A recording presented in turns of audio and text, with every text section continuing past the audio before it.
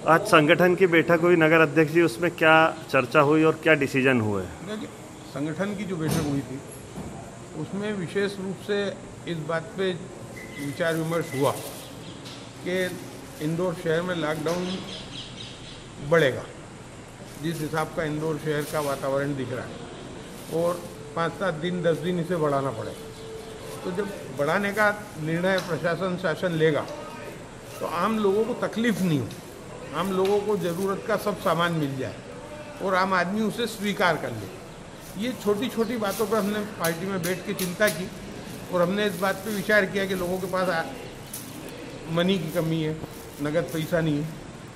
सब्जियों की व्यवस्था हो गई, अब आगे समय में फ्रूट की व्यवस्था हो जाए। इन सब के साथ जो छोटी छोटी घरेलू आइटम है, जैसे शेविंग क्रीम है टूथपेस्ट है ब्रेड है, बिस्कुट है, इस तरह की चीज़ों की भी शुरुआत प्रशासन के माध्यम से हो जाए तो लोगों को राहत मिल जाएगी। दूसरा फ्रूट मिलने लगे, इसकी भी चिंता पार्टी में हुई।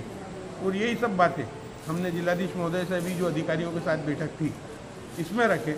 और जिला प्रशासन ने कहा है कि हम इन सब बातों को जोड़ के और लोगों को ज़्यादा से ज़्यादा राहत मिले और इस लाख आउट को, इस बंदी को, लोग शहर से स्वीकार करें।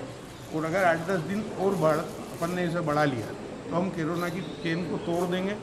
अभी जो रिपोर्टें आ रही, पहले के बनिस्बत सौ में से दस, नौ, आठ के आसपास आ रही है। ये सौ में से दो तीन पे आ जाए तो अपन अपनी जीत को समझेंगे कि अपन जीत गए। अपने प्रशासन की और शासन की और लोगों का सहयोग से हमने इसे पार पाड़ लिया।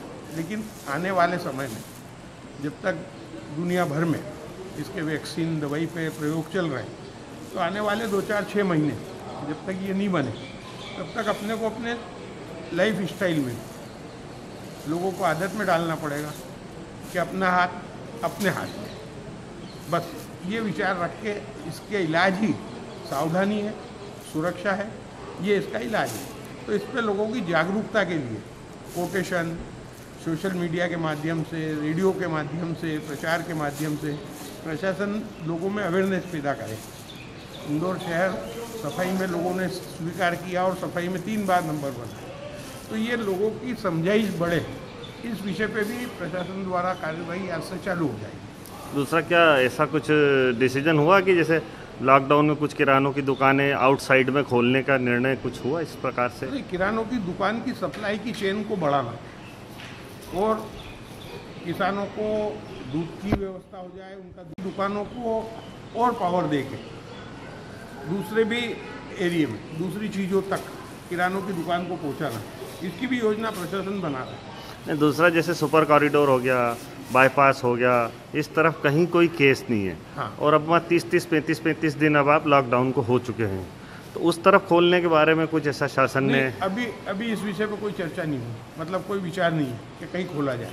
क्योंकि एक जगह खोला। तो अगर वहाँ पे भगदड़ मची या वहाँ भीड़ इकट्ठी हो गई तो ये जितनी मेहनत की है वो सब ज़ीरो पे आ जाएगी फिर इसलिए वैसा कोई अभी प्लान नहीं बना है। मतलब अभी शहर लॉकडाउन अभी हाँ, आठ दस दिन पंद्रह दिन? लॉकडाउन दस दिन पंद्रह दिन तो और रहेगा ऐसा लग रहा है।